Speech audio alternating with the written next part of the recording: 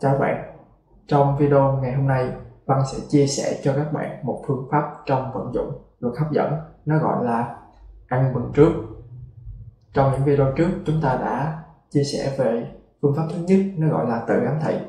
Phương pháp thứ hai gọi là ám thị ngoại vi và phương pháp thứ ba là video ngày hôm nay nó gọi là ăn mừng trước.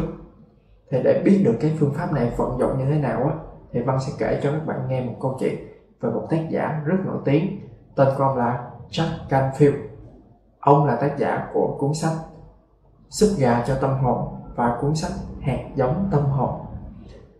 Thì Văn sẽ kể cho các bạn cái hành trình mà ông xuất bản cái cuốn hạt giống tâm hồn như thế nào. Thì Jack Canfield là một người đi thu thập những cái câu chuyện cảm động. Thì khi các bạn đọc cuốn hạt giống tâm hồn thì sẽ có những cái câu chuyện nhỏ và nó rất cảm động. Đó là những cái câu chuyện không phải là câu chuyện của ông, nhưng mà do ông đi thu thập từ những người khác về và tạo thành một cái bộ sưu tập những cái câu chuyện nhỏ.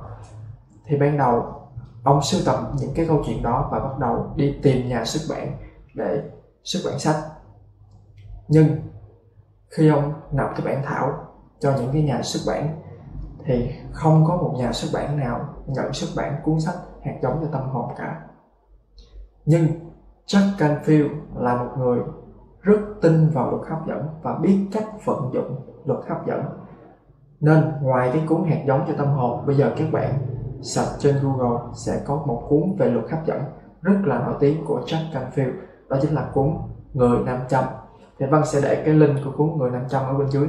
Nếu bạn nào cần thì có thể nhắc vào cái lưng và tham khảo cuốn sách Người 500 đây cũng là một trong những cái cuốn sách rất hay về luật hấp dẫn. Và quay lại với câu chuyện, Jack Canfield là một người rất giỏi vận dụng luật hấp dẫn và ông đã dùng luật hấp dẫn để tìm được cái nhà xuất bản cho mình như thế nào. Thì đêm hôm đó, khi mà tất cả mọi nhà xuất bản đều từ chối xuất bản cuốn sách của ông, thì ông tìm và vận dụng luật hấp dẫn bằng cách mời tất cả những cái bạn bè thân thiết của mình tới để làm một buổi tiệc.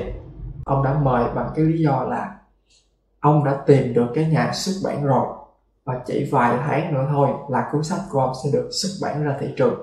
Nên ông muốn tổ chức một cái buổi tiệc để ăn mừng cho cái sự kiện này. Và lúc đó bạn bè của ông tới ăn mừng với ông và chúc mừng ông vì ông đã tìm được nhà xuất bản. Và kết quả là chúng ta có cuốn sách hạt giống tâm học thì các bạn để ý cái phương pháp này nó được gọi là ăn mừng trước. Tại sao lại là ăn mừng trước? Bởi vì Jack Canfield chưa tìm được nhà xuất bản và chưa thể xuất bản cuốn sách của mình, nhưng ông đã tổ chức một buổi tiệc để ăn mừng cho cái việc mà xuất bản của mình ông làm y hệt như là mình đã xuất bản được cuốn sách rồi. Và kêu mọi người tới để mọi người chúc mừng mình. Thì trong luật hấp dẫn, nếu bạn nào xem cái video trước của văn nói về ám thị ngoại vi, là khi nhiều người cùng tin vào một điều gì đó, nhiều người cùng nghĩ về một chuyện gì đó sẽ xảy ra, thì khả năng cao chuyện đó sẽ xảy ra thì khi Jack Canfield tổ chức buổi tiệc này, thì mọi người đều có một cái niềm tin là ông đã tìm được nhà xuất bản rồi, ông sắp xuất bản cuốn sách rồi, thì mọi người đều có một niềm tin như vậy. Và mọi người cùng đặt cái cảm xúc vào trong cái niềm tin đó là rất là vui mừng cho bạn của mình sắp xuất bản sách. Thì vừa có chung niềm tin và vừa đặt tình cảm vào cái niềm tin đó, thì nó dẫn tới luật hấp dẫn hoạt động.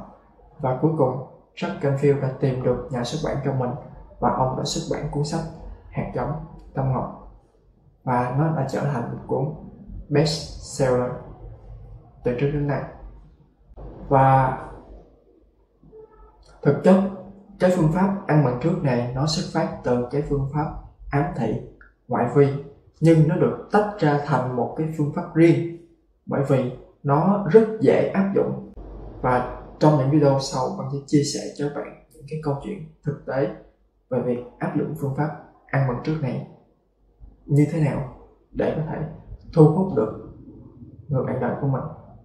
Nếu bạn quan tâm về luật hấp dẫn, thì có thể nhấn vào đăng ký và cái chuông bên cạnh để có thể nhận những video tiếp theo của Văn về luật hấp dẫn. Cảm ơn các bạn.